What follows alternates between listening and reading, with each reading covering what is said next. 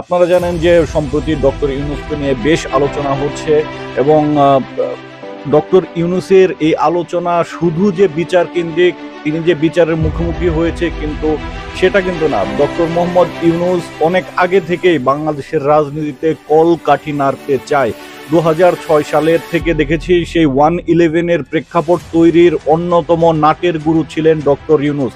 সেটা আমার মুখের কথা না, আপনারা যদি জেনারেল মইনিউ আহমেদের লেখা বই পড়ে থাকেন, তাহলে এ সম্পর্কে সম্যক ধারণা লাভ করবেন। যখনই নির্বাচন আসে, বাংলাদেশে দু হাজার ছয় দেখেছি, ওয়ান ইলেভেনের প্রেক্ষাপট তৈরি করেছেন দু হাজার চোদ্দ সালে নির্বাচনের সময় চেষ্টা করেছেন, ব্যর্থ হয়েছেন দু হাজার আঠারোতেও চেষ্টা করেছেন, ব্যর্থ হয়েছেন। কিন্তু দু হাজার তেইশ সালে ফের মাথাচাড়া দিয়ে উঠেছেন ডক্টর মোহাম্মদ ইউনুস। শুধুই যে তার বিরুদ্ধে অভিযোগ বা বিচার সেটা কিন্তু না। তিনি চান বাংলাদেশের রাজনীতিতে আরও একটি ওয়ান ইলেভেনের প্রেক্ষাপট তৈরি করতে। বাংলাদেশ যতই ডেভেলপ করতে চায়, উন্নত হতে চায়, ডক্টর মোহাম্মদ ইউনুস সেখানেই বিরোধিতা করেন। পদ্মা সেতুর অর্থায়ন বিশ্বব্যাংক করতে চেয়েছিল।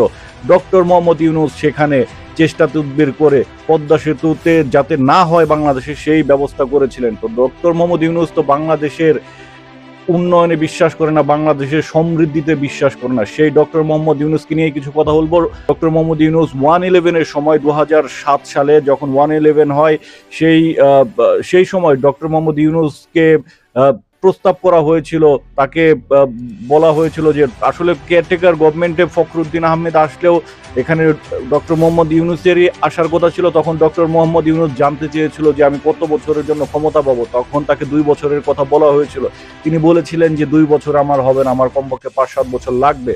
তো এই তো ডক্টর মোহাম্মদ ইউনুস, তিনি কি চান মাইনাস টু ফর্মুলার অন্যতম কারিগর ছিলেন এই ডক্টর মোহাম্মদ ইউনুস। তিনি খালেদা জিয়া, শেখ হাসিনা, দুজনকেই তো রাজনীতি থেকে চিরবিদায়ের পদ পদ বাতলে দেওয়ার যে ফর্মুলা সেটা তৈরি করার নেপথ্য কারিগর ছিলেন আজকে সেই ডক্টর মোহাম্মদ ইউনুস, বিএনপির নেতাকর্মীদের কাছে পীরের মর্যাদায় আসীন হয়েছেন। অথচ তাদের নেত্রীকেও তো তিনি কারাগারে পাঠানোর ব্যবস্থা করেছিলেন এবং রাজনীতি থেকে যাতে চিরবিদায়ে বিদায় নেন, সেই ব্যবস্থা করার নাটের গুরু ছিলেন। আজকে ডক্টর মোহাম্মদ ইউনুস, বিএনপির নেতাকর্মীদের কাছে অনেক জনপ্রিয়।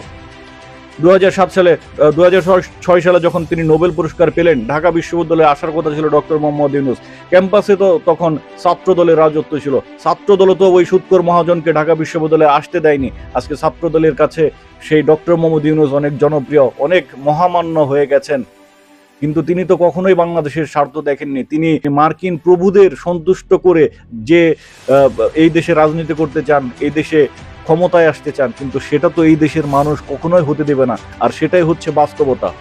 কারণ এই দেশ কীভাবে চলবে? কারণ উনিশশো একাত্তর সালেও তো মার্কিন যুক্তরাষ্ট্র বাংলাদেশের বিরোধিতা করেছিল, বাংলাদেশের স্বাধীনতা আটকাতে পারে নাই। আর সেই স্বাধীনতা তখন তো আমরা গরিব একটা দেশ ছিলাম। আজকে পঞ্চাশ, বাউন্ন, তিপ্পান্ন বছর পর বাংলাদেশের অবস্থা অর্থনৈতিকভাবে এতটা শক্তিশালী হয়েছে। এখন মার্কিন ক্ষমতাসীন দলের তো কেউ কিছু বলছে না, কোনো স্যাংশনের কথা বলা হচ্ছে, স্যাংশন আসছে না।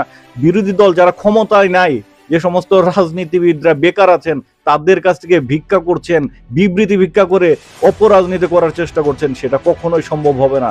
বাংলাদেশে যত সময় নির্বাচন হবে এবং সেই নির্বাচনে যুক্তরাষ্ট্র যারা সরকারি মানে যুক্তরাষ্ট্রের সরকারে যারা আছেন, সরকারের দায়িত্বশীল মহল, কখনোই বাধা দেবে না। যত সময় নির্বাচন হবে এবং অবাধ সুষ্ঠু একটা নির্বাচন হবে এবং সেই নির্বাচনে যদি বিএনপি নাও আসে, নির্বাচন হবে। কারণ একাধিক দশ, বারো, চোদ্দ, পনেরো, বিশটা পার্টি রেডি আছে নির্বাচন করার জন্য।